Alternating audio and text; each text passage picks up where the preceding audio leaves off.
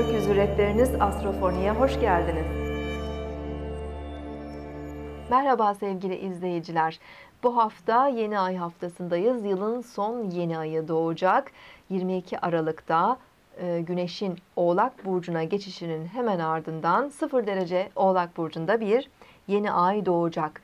Toprak elementinin öncü nitelikli bir burcudur. E, Oğlak Burcu e, kış mevsimini de başlatıyor.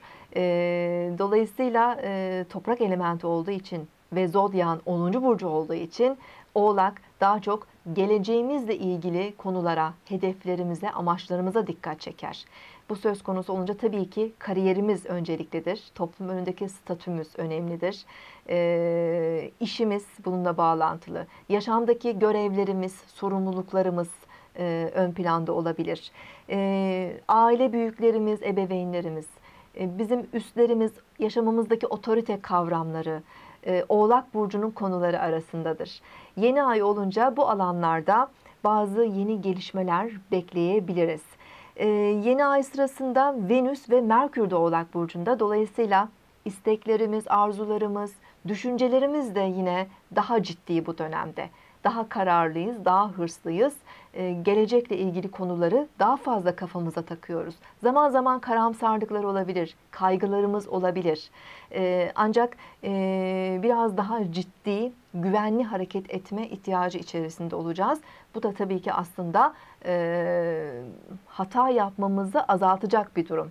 E, Venüs'ün, Merkür'ün e, ve daha sonra Güneş'in ay düğümleriyle açı yapacak olması da bu dönemde kuracağımız ilişkilerin, e, yapacağımız anlaşmaların, sözleşmelerin, tanışmaların, atacağımız adımların geleceğimiz adına da önemli olabileceğin işaretçisi. Geçmişle ilgili bazı konuları tamamen kapatabiliriz. Gelecekle ilgili yeni sayfalar açabiliriz.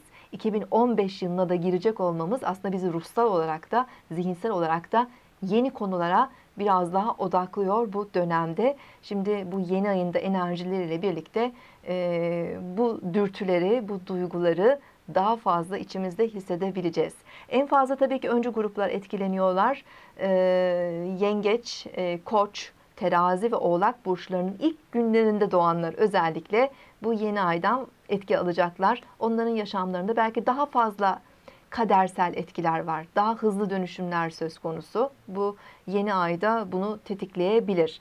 E, toprak grubu boğa ve başak burçlarında olumlu olarak etkileyecektir. Çünkü Venüs'ün Merkür'ün de e, toprak grubu bir burçta ilerlemesi onlar adında onlar adına da destekleyici görünüyor e, bu yeni ay sırasında.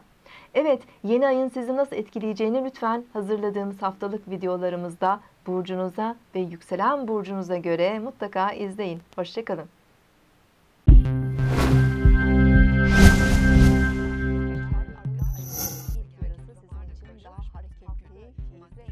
taşırken ikinci yarısı